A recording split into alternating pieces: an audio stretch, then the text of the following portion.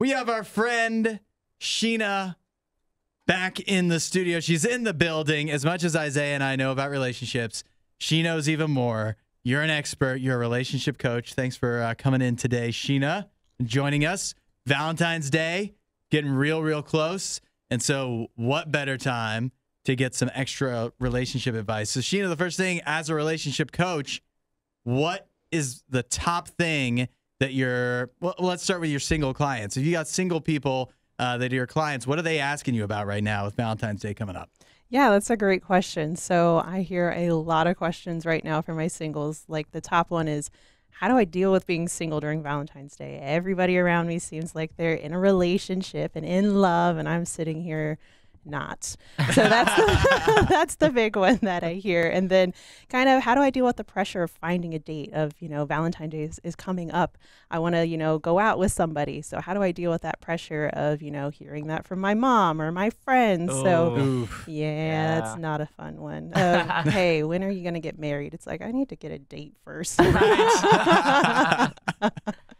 and another one that I hear a lot is like, how do I celebrate as a single? I don't know what to do. I don't want to go out to a Mm. restaurant by myself and everyone's going to be looking at me. So those are some of the questions I hear. But um, my favorite piece of advice is to take yourself out on a date. Valentine's Day is about love. I like that. so show yourself some love. Go ahead and do something that is self love related because, as cliche as it might sound, you can't truly love somebody else until you learn to love yourself. So, the way I talk about it is to look at this as practice. Practice loving yourself so you can really love that person when they do come into your life. Ooh, I like that. Yes. Now we can totally 360 it. What do you do if you have somebody who, in your mind, is going to be your Valentine? And then you get around to asking them, like, will you be my Valentine? Will you be my girlfriend? Will you go on a date with me? And then they reject you harshly. They say no. How do you deal? Every rejection feels harsh, It doesn't always, it? no matter what, it could be the nicest rejection, doesn't Yeah. matter. How do you deal with the aftermath of that, of getting rejected? Yeah, that's a great quest- question. But first of all, it takes a lot of courage to ask somebody out on a date in Yeah, it general, does. but especially on Valentine's Day because there's so much pressure. So my my first thing I would say is give yourself some credit. You did what a lot of people would not do. A lot of people are not brave enough to take that first step or not they don't have that confidence to ask that big question. So first step is congratulate yourself for doing something that a lot of people wouldn't do. You took your shot and you can't get a date if you don't take your shot. Another cliche, you know, you miss 100% of the shots that you don't take. So hey, give yourself some Gretzky right credit. hey, yes, it is. kind of a sports fan over here. and I work with a lot of guy clients, so I use a lot of those uh, analogies, and they really click. So I Yeah, really enjoy using those. But um, yeah, so that's the first thing is really give yourself some credit, and secondly, you know, respect that person's decision by not taking it personally. A lot of times we feel like I'm the one that was rejected, but really it tends to be more about that person. Maybe they don't celebrate Valentine's Day. Maybe they already have a date, or maybe they are dating themselves right now. So it doesn't have so much to do with you as to what's going on with them. So another thing is, you know, use this as a learning moment. A lot of us, you know, weren't able to make that meal that we really are great at that first time. Or maybe the first time we shot a basketball, we were terrible. We airballed it.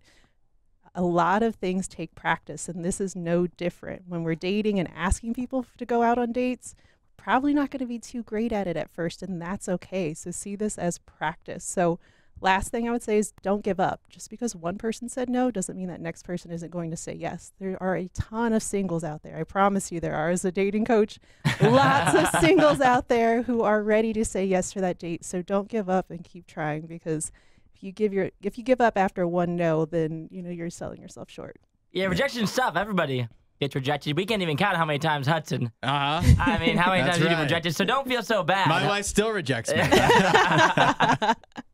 uh, talking about rejection and heartache around this time, it also feels like a huge time. We've talked about several of these for people to want to like get revenge on an ex, or not even revenge, but just find different ways to move on because this is a time where you might be thinking about an ex a lot.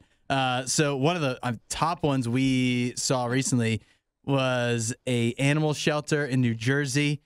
They said you can pay 50 bucks and we'll name a cat after your ex and then neuter it.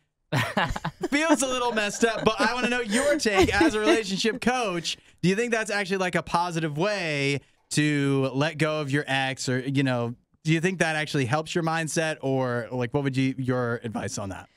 I would say that it helps in the moment. It helps you feel better in that moment, right? Kind of like punching a wall. Like, okay, I feel good, and then it starts to hurt.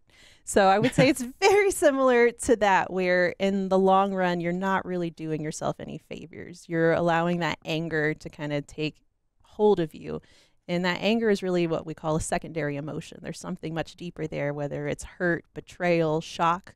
And when we just focus on that anger, we're not really looking at why did that breakup happen? Why am I feeling this way? So we're not really allowing ourselves to move on. We're just burying those feelings to take with us into the next relationship. And I don't have to tell anybody that relationships are tough enough as it is to be bringing baggage in with that relationship. Yes. So I definitely don't recommend um, doing things like that. I would say be a detective of your own feelings and figure out why am I feeling this way and why did this breakup happen versus just trying to bury those feelings. Hi there. I'd like to cancel an order. Not Isaiah. We don't want the cat being named Isaiah. and then one last thing, because Valentine's Day, it really does feel like, it, well, it is. It's a it's a day for those that are in relationships. What are the people that are in relationships? If you coach any of them, what are they asking you when Valentine's Day is rolling around? Yeah, so number one question is gifts. What do I get them? What do I do to make them feel special, to show that love? And how do I celebrate Valentine's Day again, especially for those who have been together for a long time without breaking the bank or, you know, you know, being boring or, you know, how do I make this creative? So those are some big questions I get. And then more specific questions I get sometimes from like women are, what do I do for my man? This is a holiday geared towards women. It's about roses and chocolate. And I'm like, I don't know what to get him. Um, another one is for long distance relationships. So, Mm. what do you do in that situation? So, one of my favorite recommendations that kind of works for all of these is to create a voucher book. And what I mean by that is creating vouchers for your partner. So, this gives you an opportunity to show them that you really know them and care about them. So, say your partner really loves it when you make them home cooked meals. One of the vouchers could be for a home cooked meal that they could turn in at any time. And then you can enjoy that all year long. It's creative, it's fun, and it's cost effective. Jeez, you hear that? E, make me a voucher book. I'm ready. I can't wait. I'll be cashing them in all year long. That's great too. And you know the best part about that advice is that's last minute too. yeah. Mm. You don't have to worry about rushing out and buying something that's overpriced right now. It's, it's uh yeah, up to the last minute. That voucher book, the coupons, man. hmm Take we care love the coupons. Yes. Sheena, that is such great advice. Thanks for coming in. For anybody who wants to find out more about Sheena, uh, wellness360coach.com. And that's Sheena Hanscel, H A N C E L. And you can find out more uh, about maybe having Sheena help you out with your relationships. She already clearly helped a lot here. Thanks so much, Sheena. If you like that video, there's a ton more. Go check out our past videos and subscribe so you don't miss what we do next.